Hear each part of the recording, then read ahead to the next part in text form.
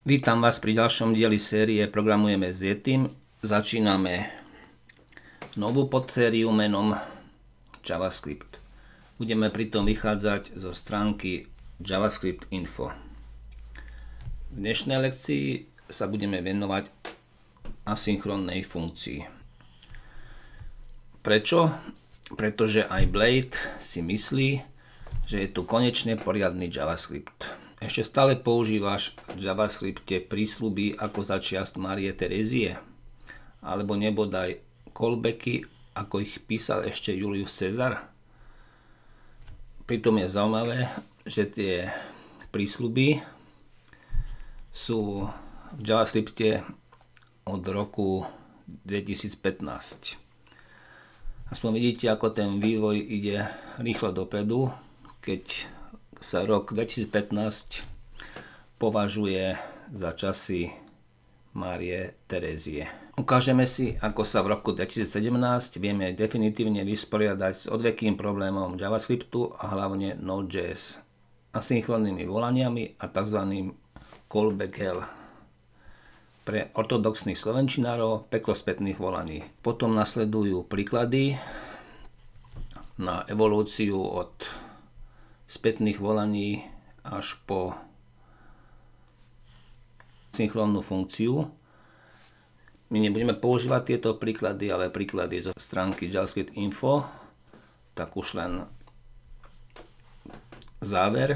Async await, časovo nesúrodý vyčkaj, poznámka Ludevita, sú ešte novoto, voňajúce kľúčové slova z ECMAScriptu 2017 respektíve ES7, tu malo byť ES8.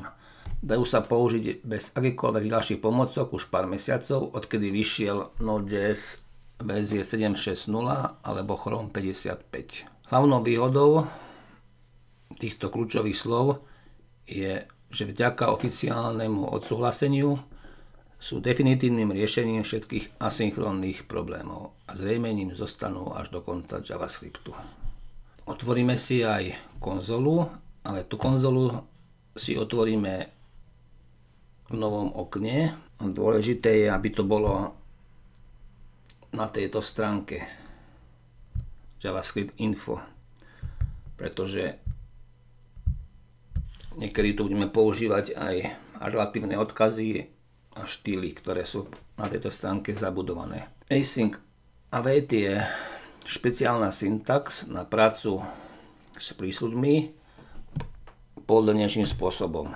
Je to ľahké pochopiť, prekvapujúco ľahké pochopiť a používať. Začneme s kľúčovým slovom async. To kľúčové slovo async sa umiestňuje pred definíciu funkcie. Použijeme to kľúčové slovo async ideme vytvárať funkciu menom f. Teraz použijeme Shift Enter, aby sme pokračovali v definícii tej funkcie, ktorá vracia jednotku. Ukončíme definíciu. A teraz, keby sme tú funkciu zavolali, tak vidíme, že nám vrátila prísľub v stave naplnený hodnotu, ktorú tá funkcia vracia, vidíme tu. Toto sú interné hodnoty prísľubu, ku ktorým nemáme priamy prístup. Prístup k ním získame pomocou metódy ten, ktorá môže mať dva argumenty.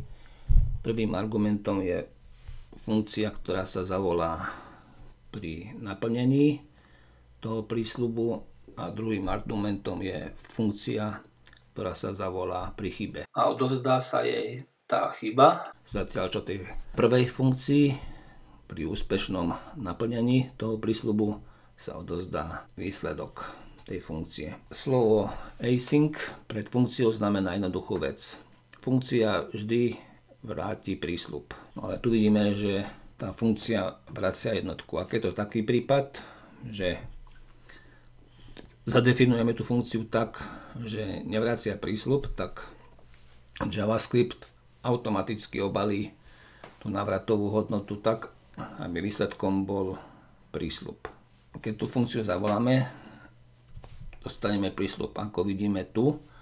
A chceme získať prístup k tej internej hodnote výsledok. No, robíme to pomocou metódy THEN a zaregistrujeme tam funkciu, ktorá má záujem na tom výsledku. V tomto príklade to bola funkcia alert, do ktorej sa automaticky odozdá pri naplnení toho slubu aj ten výsledok. Ja zaregistrujem funkciu, ktorá ten výsledok vypíše do konzoly.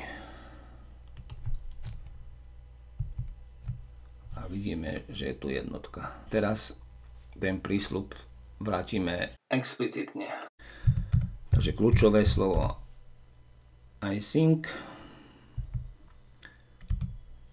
a zmeníme tú návratovú hodnotu na prísľub a zavoláme tú funkciu resolve, ktorá sa volá pri úspechu. Odovzdáme jej hodnotu 1. Opäť si môžeme zavolať tú funkciu.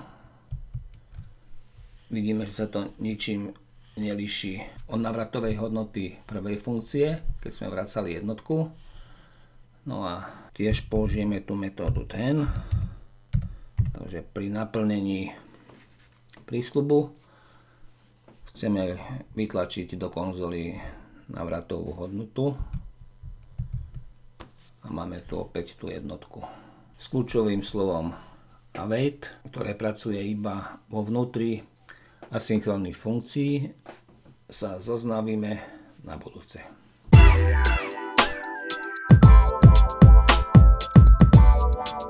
Thank